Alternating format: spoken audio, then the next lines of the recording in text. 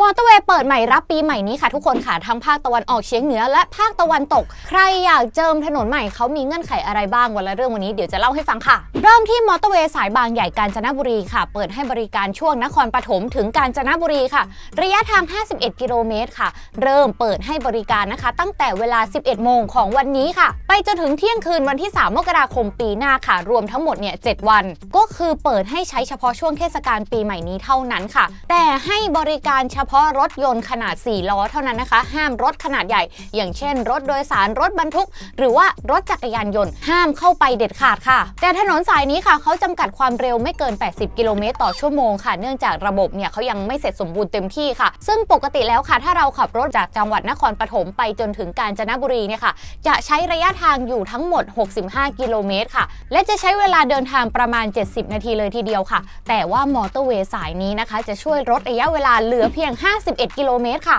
ใช้เวลาเดินทางเพียง 30 นาทีเท่านั้นค่ะ ซึ่งประหยัดเวลาลงไปถึง 40 นาทีเลยทีเดียวค่ะ ส่วนมอเตอร์เวย์อีกสายหนึ่งก็คือช่วงบางปะอินถึงนครราชสีมาค่ะ ช่วงปากช่องถึงเลี่ยงเมืองโคราช ระยะทางทั้งหมด 77 กิโลเมตรค่ะ ถือฤกษ์เปิดเส้นทางในเวลา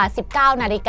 า 19 นาทีค่ะ ของวันนี้ค่ะ และตั้งแต่วันนี้เป็นต้นไปนะคะ จะเปิดให้บริการฟรีไปอีกประมาณ 2 ปีค่ะ ก็คือไปจนถึงปี 68 นั่นเองค่ะ จนกว่าการก่อสร้างเนี่ยจะเสร็จสมบูรณ์เส้นทางนี้ก็จะจำกัดความเร็วไม่เกิน 80 กิโลเมตรต่อชั่วโมงเหมือนกันค่ะ ให้บริการเฉพาะรถยนต์ขนาด 4 ล้อเท่านั้นค่ะ รถอื่นเนี่ยอย่าเผลอขึ้นไปเด็ดขาดนะคะ และแม้ว่าวิวข้างทางจะสวยแค่ไหนก็ห้ามจอดรถเซลฟี่เด็ดขาดค่ะ ถ้าฝ่าฝืนเนี่ยถูกปรับถึง 2,000 บาทเลยทีเดียว เพราะฉะนั้นปีใหม่นี้ใครเดินทางกันก็อย่าลืมนะคะ ไปใช้บริการได้ค่ะ และที่สำคัญอย่าลืมตรวจเช็คสภาพรถ และก็เติมน้ำมันให้เต็มถังนะคะ แต่ถ้าหากเกิดเหตุด่วนเนี่ยสามารถโทรแจ้งสายด่วน